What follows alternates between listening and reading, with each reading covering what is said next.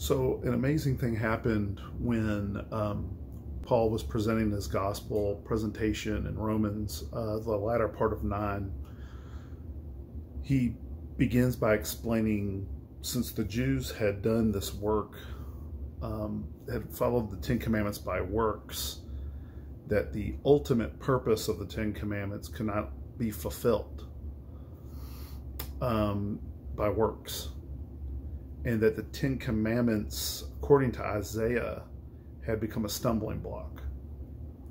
And that the perfection that God wanted from them would happen through the person of Christ and not through these commands. And so, indeed, they had, the Ten Commandments had become a stumbling block. Um, they simply got hung up on them and could not come to faith because they could not see that God wasn't demanding works from them. Now, if you know anything about the Old Testament, you know that this, what Paul's saying here, is not foreign to the Old Testament. It's there. Um, he quotes Isaiah, and um, pretty pretty fascinating stuff.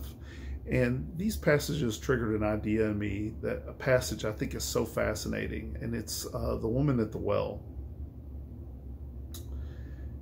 And now I've I've heard it taught that the woman at the well, what was going on is she was going in the afternoon, and that this was an odd time to go because the water wouldn't be as cool, and so she was an outcast, and therefore was going to the well um, to get water at a weird time and I think that's true, but I think that it's incomplete.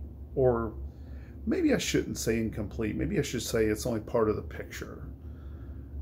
Um, spirituality is a very odd thing.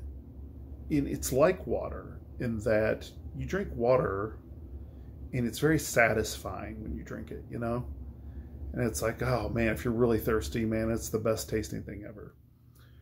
But then you get thirsty again in spirituality can be that way. You can have some successes and it feels really good, but then failure is right around the corner, inevitably. And so what happens with this woman is there's kind of a, a, a very interesting lesson going on here. Yes, she was probably an outcast. She had Jesus said she had five husbands.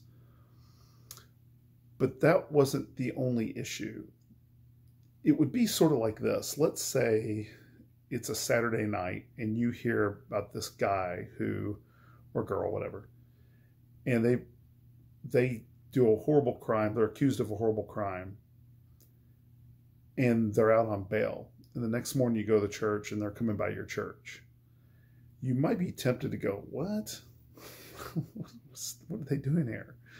You know, they they're potentially being indicted for this horrible crime and they're at my church. And I think it's a similar thing here with this woman at the well. This was Jacob's well. And when she when Jesus asks, "Can you draw me some water from the well?" she's kind of like, "Do you know this is a sacred place?" And there's this interesting teaching going on between the water where he's saying you'll never thirst again and she's going there for practical reasons but i think she's choosing to go to this well because it's a sacred well and she mentions the the, the samaritan temple and i don't think she could show up at the samaritan temple. So she goes to this well. I could be wrong but that's an estimate that i'm making. I've learned from other comments and other my videos that i'm way off. So maybe i'm way off on this one but and the arguments on that comment were really good. Uh, but um, thoroughly refuted. I was thoroughly refuted. But this woman, um, you know, it's possible that this was a spiritual act for her, but she was going to have to keep going to the well. Just like the Jews were going to have to keep going to the temple and keep trying to please God. And so Jesus says, How about this? How about I give you living water?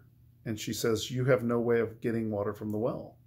It's really interesting, and it's not easy to decipher exactly what's happening here. We have a lot of simplistic teaching on this. I myself, I think, have taught in the past simplistically about these passages.